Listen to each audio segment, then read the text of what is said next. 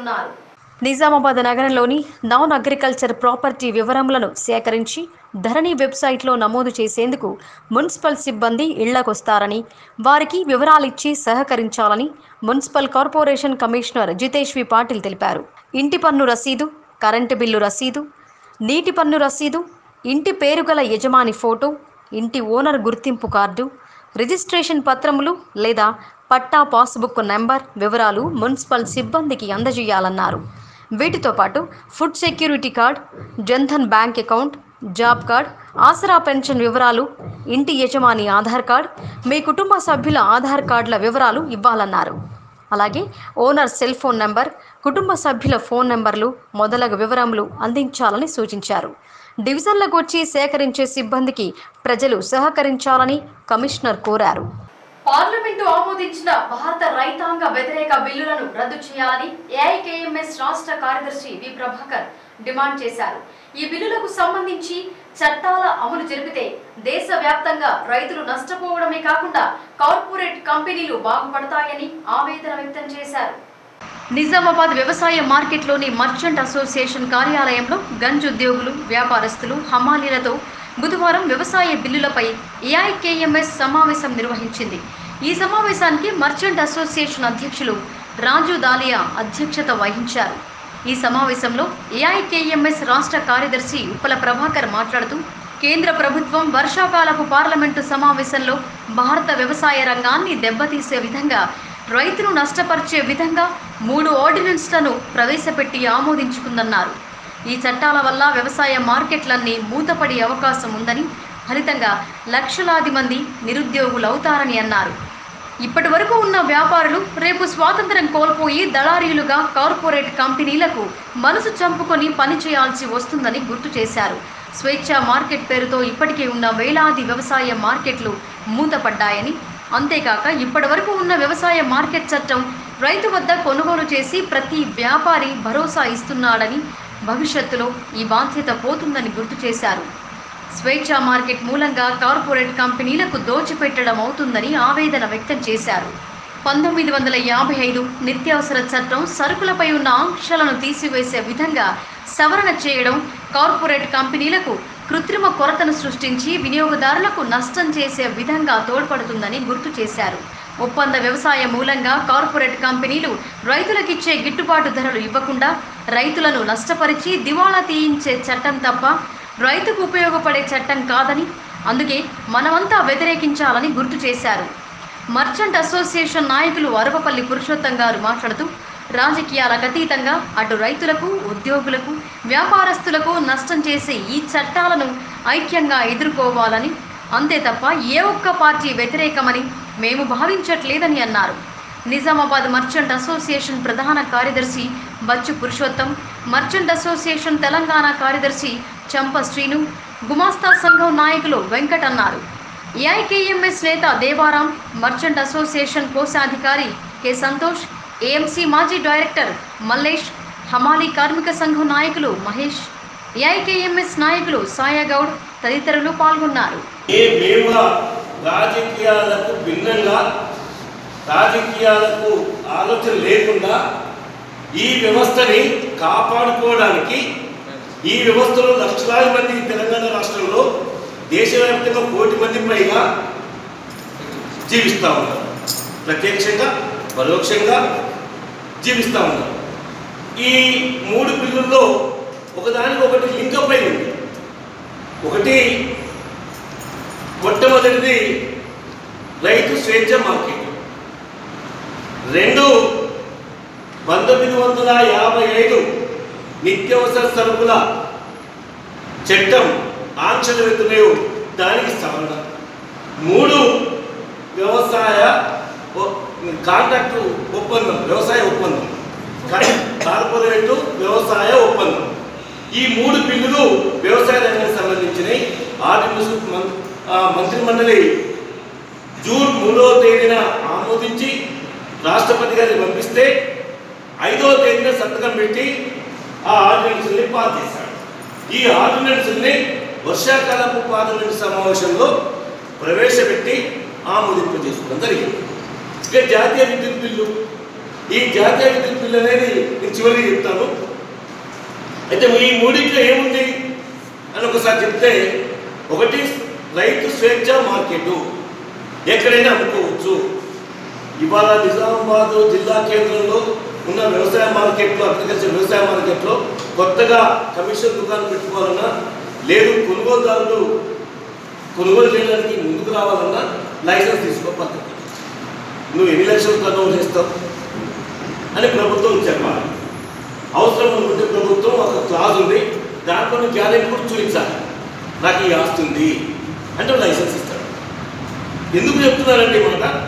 ఒక రైతు దగ్గర సరుకు తీసుకొని కొనుగోలుదారులు జెండా ఎత్తేస్తే ఈ వ్యవసాయ మార్కెట్ కానీ ప్రభుత్వం కానీ లైసెన్స్ ఇచ్చినప్పుడు మనం చూసినావు కదా మరి నువ్వే బాధ్యత వహించాల్సి వస్తుంది మాలాంటి సంఘాలు ప్రశ్నిస్తాయి ఇది దానికి ఒక ఆధారం. అయితే ఈ రైతు స్వేచ్ఛ మార్కెట్ అనేది వస్తే ఈ దేశంలో మొత్తం రెండు వేల చిలుకు మనం పెద్ద పెద్ద మార్కెట్ నిజామాబాద్ మార్కెట్ ఉంది. దీనికి అనుబంధంగా ఆత్మలో బాన్స్పడను గోధుమ మొత్తం కలిపి ముప్పై నాలుగు వేల వ్యవసాయ మార్కెట్లు అనుబంధ మార్కెట్లు అన్ని కలిపి ఈ దేశంలో వీటికి ఈ స్వేచ్ఛ మార్కెట్ అమలు జరిగితే గంజలకు మొక్కలు తీసుకోవాల్సిన అవసరం లేదు. జిల్లాలో ఇటీవల కురిసిన భారీ వర్షాలకు చెరువులు కుండలు కళకళలాడుతున్నాయి. వాగులు వంకలు పొంగి పొర్లుతున్నాయి. కొన్ని ప్రాంతాల్లో చెరువుల్లో నీరు భారీగా చేరి జలపాతాలను తలపిస్తున్నాయి. తాజాగా కుంటాల జలపాతం లాంటి మరో జలపాతం ఇందర్వాయి మండలంలో కనువిందు చేస్తోంది. నిజామాబాద్ జిల్లా ఇందర్వాయి మండలంలోని సిర్నాపల్లి సీలం జానకిబాయి చెరువును గతంలో సిర్నాపల్లి సంస్థానాధీశురాలు సీలం జానకిబాయి తన హయాంలో కట్టించారు. వర్షాలకు చెరువు పూర్తిగా నిండింది. జానకిబాయి చెరువు అలుగు నలభై మీటర్ల ఎత్తు ఉండటంతో పైనుండి పొర్లుతున్న నీటిని చూడటానికి వివిధ ప్రాంతాల నుండి పర్యాటకులు ఇక్కడికి వస్తున్నారు. పైనుండి జలధార క్రిందికి రావడంతో చూపర్లను ఇట్టే కట్టిపడేస్తోంది. దట్టమైన అటవీ ప్రాంతంలో ఉండటంతో పచ్చని చెట్ల మధ్య నీటి జలధార పారుతుండడాన్ని చూడటానికి పర్యాటకులు ఈ ప్రాంతానికి వస్తున్నారు. చాలా పొడవైన ఆలుగు ఎత్తైన ప్రదేశం నుండి నీటి దారలు క్రిందికి వస్తుంటాయి. ఈ ఆహ్లాదకరమైన వాతావరణాన్ని పర్యాటకులు ఎంతో ఆస్వాదిస్తున్నారు. ప్రభుత్వం ఇక్కడికి వెళ్ళడానికి రోడ్డు బాగు చేస్తే సిర్నాపల్లి ఒక పర్యాటక ప్రదేశంగా మారుతోందని ఇది కుంటాల జలపాతాన్ని తలపిస్తోందని ఇక్కడ సుందర దృశ్యాలను వీక్షిస్తున్న పర్యాటకులు అంటున్నారు. మేము నుంచి వచ్చినాం. తిరునాపల్లి ఇక్కడ వాటర్ ఫాల్స్ చాలా బాగుంది. మేము గత కొన్ని రోజుల నుంచి అనుకుంటున్నాము. ఇక్కడ ఈ వాటర్ ఫాల్స్ చాలా బాగా ఇక్కడ ఉంటుంది రావాలి అనుకున్నాం. కానీ చాలా బాగుంది ఇక్కడ. నచ్చింది. రండి మీకు కూడా నచ్చితే ఇక్కడికి. ఈ వాటర్ ఫాల్స్ చూస్తే మీకు కూడా అనిపిస్తుంది. ఎంతో దూరంలో ఉన్న మనకు ఆ ఆనందాన్ని మనం ఆస్వాదించేదాం కదా. ఇక్కడ ఉన్న ఈ చిన్నపల్లి దాంట్లో చాలా బాగుంది. ఇది చూస్తే మీరు కూడా ఇక్కడ రావాలని కోరుకుంటారు చూడండి ఒకసారి మీరు కూడా. కుల దురహంకార హత్యలకు వ్యతిరేకంగా పోరాడుదామని ప్రజా సంఘాల నేతలు పిలుపునిచ్చారు. ప్రేమ కులాంతర వివాహాలకు ప్రభుత్వం పోలీసులు రక్షణ కల్పించాలని డిమాండ్ చేశారు. సత్యశోధక్ సమాజ్ నూట నలభై ఎనిమిదవ ఆవిర్భావ వారోత్సవాల సందర్భంగా IFTU AIKMS CLC PDSU PYL POW సంఘాల ఆధ్వర్యంలో బుధవారం ఎన్ఆర్ భవన్లో రౌండ్ టేబుల్ సమావేశం నిర్వహించారు. ఈ సందర్భంగా న్యూ డెమోక్రసీ జిల్లా నాయకులు ఎం వెంకన్న మాట్లాడుతూ జ్యోతిబా పులే సావిత్రిబాయి పులేలు దళితులు నిమ్న కులాలపై దాడులకు వ్యతిరేకంగా పోరాడారన్నారు. ఇన్నేళ్ళైనా దేశంలో కుల దురహంకార దాడులు మరింత పెరుగుతున్నాయన్నారు. మొన్న ప్రణయ్ నిన్న హేమంత్ల హత్యలు దారుణ పరిస్థితిని తెలుపుతున్నాయన్నారు. కులాంతర వివాహాలు చేసుకున్న వారికి ప్రభుత్వ ప్రోత్సాహకాలు పెంచాలని వెంటనే అందించాలన్నారు. కుల నిర్మూలన కోసం ప్రభుత్వాలు సీరియస్గా కార్యాచరణ ప్లాన్ చేసి అమలు చేయాలన్నారు. విద్యారంగంలో మనువాద భావాజాలాన్ని తొలగించి శాస్త్రీయ భావాజాలాన్ని శ్రమకు విలువనిచ్చే సంస్కృతిని బాల్యం నుండే పెంపొందించాలన్నారు. కుల దురహంకారం ప్రదర్శించి దాడులు హింసకు పాల్పడిన వారిపై వెంటనే కేసులు నమోదు చేసి ఫాస్ట్ ట్రాక్ కోర్టుల ద్వారా విచారణ పూర్తి చేయించి శిక్షించాలని డిమాండ్ చేశారు. దేశంలో జరుగుతున్న కులాంతర హత్యలకు దాడులకు వ్యతిరేకంగా కార్మిక కర్షక ప్రగతిశీల వాదులుగా పోరాడాల్సిన బాధ్యత మన అందరిపై ఉందన్నారు. ఈ కార్యక్రమంలో ప్రజా సంఘాల బాధ్యులు ఎం సుధాకర్ వి గోదావరి సంధ్యారాణి కల్పన సాయాగౌడ్ వీక్ సింగ్ కిషన్ మురళి నర్సక్క చరణ్ భాస్కర్ తదితరులు పాల్గొన్నారు. మనము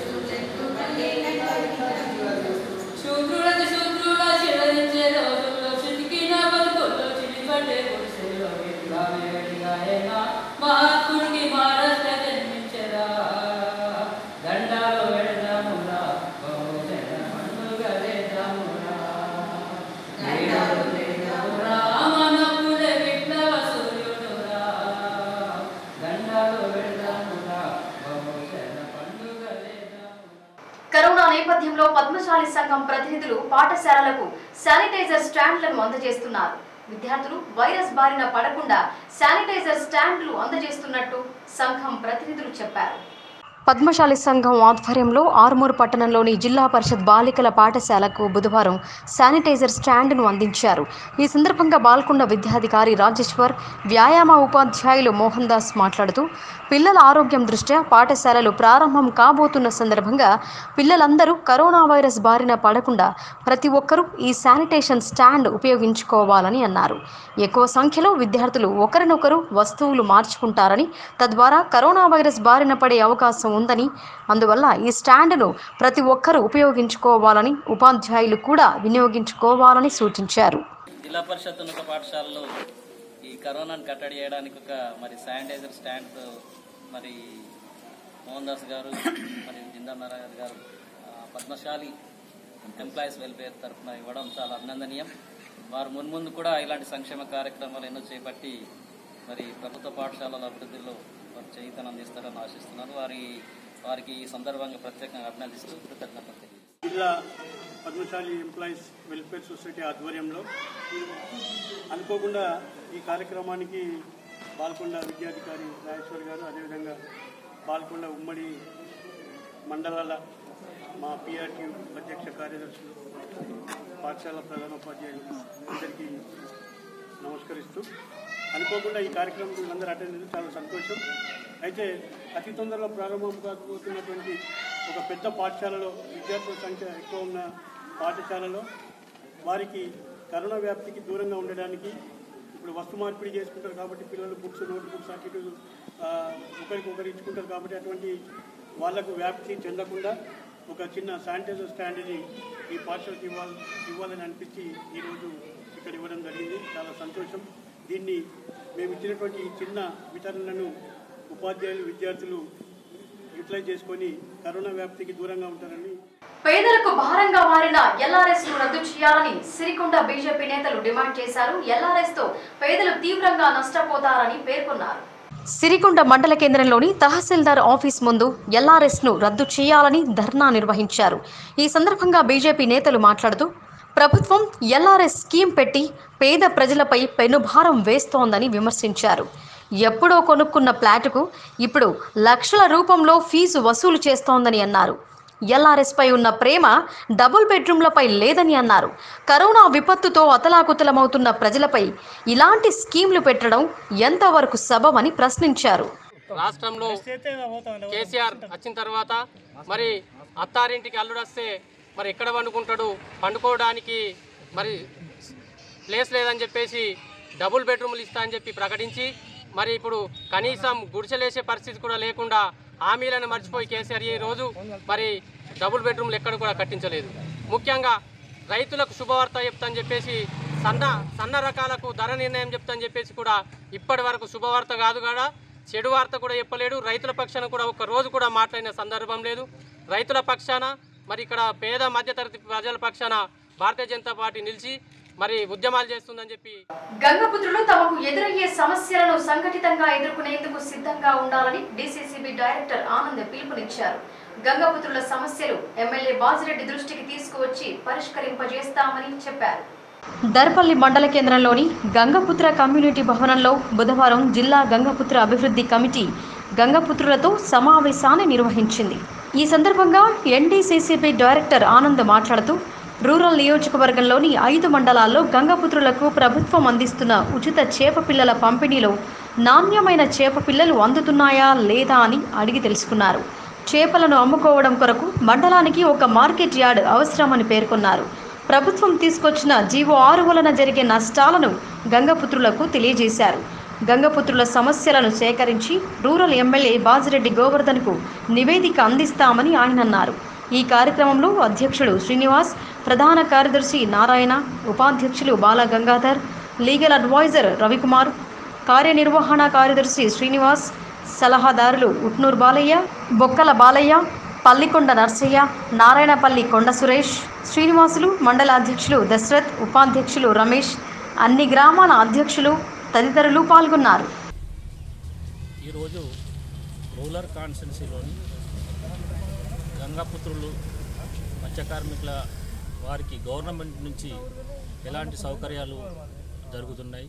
ఏ, పిల్లలు ఉచితంగా ఎలా పోసారని రూరల్ కాన్స్టిట్యున్సీలో సిరికొండ దరిపల్లి ఇందల్వాయి డిచ్పల్లి ఓ ఐదు మండలాల్లో ఈరోజు విజిట్ చేయడం జరుగుతున్నది. ప్రభుత్వం నుంచి రావాల్సిన ఉచిత చాప పిల్లలు కానీ వాళ్ళ సమస్యల మీద ఏదైతే భావనలు ఉన్నదో దాన్ని తెలుసుకోవడానికి అభివృద్ధి కమిటీ జిల్లా అభివృద్ధి కమిటీ ఈరోజు ఒక ఐదు గ్రామాల్లో ఐదు మండలాల్లో పర్యటించడం జరిగింది. ఆ సమస్యల మీద పూర్తి వివరాన్ని తీసుకొని ఎమ్మెల్యే వారి దృష్టికి తీసుకెళ్దామనే ఉద్దేశంతో ఈ అన్ని మత్స్య కార్మికుల కుటుంబాల నుంచి వాళ్ళ యొక్క సమస్యల కోసం నివేదిక ఏదైతే ఉందో వాళ్ళ ఇచ్చే నివేదికని తీసుకొని ఎమ్మెల్యే గారికి ఒక మెమోండం ఇవ్వడం. ఎల్ఆర్ఎస్ ద్వారా పేద ప్రజలను ఇబ్బందులకు గురి చేయడం తగదని బీజేపీ దర్పల్లి మండల అధ్యక్షుడు లోలం గంగారెడ్డి అన్నారు. తక్షణమే ఎల్ఆర్ఎస్ను ఉపసంహరించుకోవాలని డిమాండ్ చేశారు. టీఆర్ఎస్ ప్రభుత్వం ఎల్ఆర్ఎస్ చట్టాన్ని విరమించాలని డిమాండ్ చేస్తూ దర్పల్లి మండల ఎంఆర్ఓ కార్యాలయం ఎదుట బీజేపీ ఆధ్వర్యంలో ఆందోళన కార్యక్రమాన్ని చేపట్టారు. ఈ సందర్భంగా లోలం గంగారెడ్డి మాట్లాడుతూ ప్రభుత్వం పరిపాలనలో విఫలమయ్యిందని విమర్శించారు. ఈ కార్యక్రమంలో మండల నాయకులు పల్ది గంగాదాస్ గోపాలకృష్ణ రాజేందర్ గౌడ్ చిలుక మహేష్ చెలిమెల నవీన్ రాజమల్లు రాజేంద్ర ప్రసాద్ సేవాలాల్ గోలి రాజేశ్వర్ సరిచంద్ చంద్రమౌళి గంగాధర్ పి గంగాధర్ గాండ్ల మురళి మరియు కార్యకర్తలు పాల్గొన్నారు. శ్రీరామ్! ఈ చాతగాని ప్రభుత్వము టిఆర్ఎస్ కేసీఆర్ గారు ఈ యొక్క ఎల్ఆర్ఎస్ అని తీసుకొచ్చింది. ఈ ఎల్ఆర్ఎస్ వలన ప్రజలకు చాలా నష్టం ఉన్నది. ఈ యొక్క ఎల్ఆర్ఎస్ అంటే ఎల్ ఎల్ అంటే లేనోడి రక్తాన్ని పీల్చే స్కీము తీసుకొచ్చిండు. మరి అటువంటి స్కీములకు మనము వ్యతిరేకించాలా? ప్రజలను కాపాడాలి. మరి మన ప్రధానమంత్రి మోడీ గారు తీసుకొచ్చినటువంటి స్కీములు ఎన్నో ఉన్నాయి. అవి ఇచ్చేటి తీసుకునేటి కావు ఖజానా నింపుకునేటి కావు. ఇచ్చేటవిటను ఎన్ని ఈ డబుల్ బెడ్రూమ్ ఇండ్లు గాని మరియు అదేవిధంగా ఇన్సూరెన్స్ లేబర్ ఇన్సూరెన్స్ గాని అదేవిధంగా ఆయుష్మాన్ భారత్ గాని ఇవన్నీ ఎన్నో ప్రవేశపెట్టిండు. అవి అవి తీసుకోకుండా అవి తీసుకుంటే ఒకవేళ బీజేపీకి ఎక్కడ పేరు వస్తుందోనని అవి తీసుకోక అవి ప్రజలకు ఇవ్వకుండా ప్రజల నుంచి లూటీ చేసే ప్రయత్నం చేస్తున్నాడు. ఈ యొక్క ఎల్ఆర్ఎస్ ద్వారా. ఎందుకంటే నేను సరి చేస్తున్నా సేమ్ సరి చేస్తున్నావు. ఇంతకు ముందు రిజిస్ట్రేషన్ కాలేవా? మేము కట్టలేదు డబ్బును. మళ్ళా వీటను మళ్ళీ మళ్ళీ కట్టించుకొని ఒక మొన్న నేను మాట్లాడింది. దళిత గిరిజనులకు సాగు భూములు ఇవ్వాలని ఎంఆర్పీఎస్ మహాజన సోషలిస్టు పార్టీలు డిమాండ్ చేశాయి. తెలంగాణ రాష్ట్రంలో బడుగు బలహీన వర్గాల ప్రజలకు రక్షణ లేకుండా పోయిందని ఆరోపించాయి. ఎల్లారెడ్డి పట్టణంలో బుధవారం దళిత గిరిజనులకు సాగు భూములు ఇవ్వాలని ఎంఆర్పీఎస్ మహాజన సోషలిస్టు పార్టీల ఆధ్వర్యంలో రిలే నిరాహార దీక్షలు చేపట్టారు. కేసీఆర్ పాలనలో SC ST BC minority OBC నిరుపేద కుటుంబాలకు అన్యాయం జరుగుతోందని ఈ సందర్భంగా ఎంఆర్పీఎస్ నాయకులు కంతి పద్మారావు ఎంఐఎం పార్టీ నేత Abdul Razak Mahajana socialist party Yellareddy town అధ్యక్షులు సాయిబాబు ఆరోపించారు. గత జూలై ఇరవై నాలుగవ తేదీన దళిత గిరిజనులు చతుర్నాయక్ తాండాలో నలభై సంవత్సరాల నుండి జీవనోపాధికై మొక్కజొన్న పంటలు వేసుకోగా ఫారెస్ట్ అధికారులు పోలీసుల సహాయంతో తొంభై ఎకరాల భూముల్లో వేసుకున్న మొక్కజొన్న పంటను ధ్వంసం చేయడం జరిగిందన్నారు. చతుర్నాయక్ తండా భూములను సమగ్ర సర్వే జరిపించి బాధితులకు తిరిగి ఆ భూములను ఇవ్వాలని డిమాండ్ చేశారు. ఈ రిలే నిరాహార దీక్షలో ఎంఆర్పిఎస్ మహిళా అధ్యక్షురాలు పోషక్క రామవ్వ సామెల్ తులసవ్వ గంగవ్వ బ్యాగరి బాలవ్వ రామవ్వ లక్ష్మి అంజవ్వ కవిత పాల్గొన్నారు. ఇరవై ఎనిమిదేళ్ళుగా ఎదురు చూస్తున్న బాబ్రీ మసీదు కూల్చివేత కేసుకు ఎట్టకేలకు తెరపడింది. మసీదు కూల్చివేత కేసులో నిందితులుగా ఉన్న మాజీ ఉప ప్రధాని ఎల్కే అద్వానీ మురళీ మనోహర్ జోషి ఉమాభారతి తదితరులను నిర్దోషులుగా తేలుస్తూ సిబిఐ ప్రత్యేక న్యాయస్థానం తీర్పు ఇవ్వడంతో భాజపా సంబరాలు చేసుకుంది. బాబ్రీ మసీదు కూల్చివేతలో ఆరోపణలు ఎదుర్కొంటున్న భాజపా నేతలను కోర్టు నిర్దోషులుగా తేల్చడంతో నిజామాబాద్ నగరంలో బీజేపీ రాష్ట్ర కార్యవర్గ సభ్యుడు ధన్పాల్ సూర్యనారాయణ నివాసం వద్ద సంబరాలు చేసుకున్నారు. ఈ సందర్భంగా బీజేపీ రాష్ట్ర కార్యవర్గ సభ్యులు ధన్పాల్ సూర్యనారాయణ మాట్లాడుతూ స్వార్థపూరిత రాజకీయాల కోసం కాంగ్రెస్ ప్రభుత్వం అనవసరంగా భాజపా నాయకులపై కేసులు పెట్టి ఇబ్బందులకు గురి చేసిందన్నారు. ఇరవై ఎనిమిది సంవత్సరాలు గడిచినప్పటికీ న్యాయం గెలిచిందని ఈ సందర్భంగా ఆయన సంతోషం వ్యక్తం చేశారు. ఈ కార్యక్రమంలో బీజేపీ నిజామాబాద్ ఎమ్మెల్సీ అభ్యర్థి పోతన్కర్ లక్ష్మీనారాయణ జిల్లా ఉపాధ్యక్షులు బీజేపీ సీనియర్ నాయకులు గజం ఎల్లప్ప బీజేపీ ఎస్సీ మోర్చా పట్టణ అధ్యక్షులు కుమారస్వామి వివిధ జోన్ల ప్రెసిడెంట్లు బీజేపీ కార్యకర్తలు పాల్గొన్నారు. పంతొమ్మిది వందల తొంభై రెండు డిసెంబర్ ఆరున బాబ్రీ మసీదు కూల్చివేయడం జరిగింది.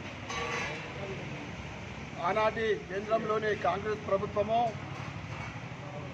ఇది కుట్రపూరితమైన విధ్వంసము కుట్రపూరితంగా ఈ చర్య తీసుకొనబడడం జరిగిందని ఆ రోజు అనేక మందిపై కేసులు పెట్టడం జరిగింది. ఇరవై ఎనిమిది సంవత్సరాల తర్వాత ఈరోజు ప్రత్యేక కోర్టులో ఈ కోర్టులో ఈ కేసు కొట్టివేయడం జరిగింది. ముఖ్యంగా భారతీయ జనతా పార్టీ నాయకులు లాల్కృష్ణ అద్వానీ గారు మురళీ మనోహర్ జోషి ఉమాభారతి యూపీ ఆనాటి ముఖ్యమంత్రి కళ్యాణ్ సింగ్ వారిపైన కేసులు ఉండి ఈరోజు ప్రత్యేక కోర్టు ఆ కేసులు కొట్టివేయటం తీర్పు ఇవ్వడం జరిగింది. ఇరవై సంవత్సరాల తర్వాత ఇదంతా కూడా భారతీయ భారత జనతా పార్టీ మరియు దేశ ప్రజలకు ఇది ఒక శుభ దినము. ఎందుకంటే బాబ్రీ మసీదు కూల్చివేత అనేది ప్రజలందరూ కూడా ఆ రోజు హర్షించడం జరిగింది. ఎటువంటి కుట్ర కుట్రపూరితమైన చర్య కాదని అయినా కానీ కేసు పెట్టడము చాలామందికి ఇబ్బంది పెట్టడం జరిగింది. అనేక మంది కేసు ఎవరైతే కేసులో ఉన్నారో వాళ్ళు అసలు పాడడం కూడా జరిగింది. ముప్పై రెండు మంది ఈరోజు ఆ కేసు తోటి సతమవుతూ ఉన్నారు. కొందరు ఈరోజు వినయ్ కటియార్ మొదలకు కొంతమంది కోర్టు హాజరు కావడము వయోభారం వల్ల అద్వానీ మురళీ మనోహర్ జోషి వారు అటువంటి వాళ్ళు కోర్టు హాజరు కాలేక వీడియో కాన్ఫరెన్స్ ద్వారా ఆ కేసు చర్చించడము కేసు తీర్పు వినడం జరిగింది. ఈరోజు దేశ ప్రజలందరికీ కూడా ఒక శుభదినం.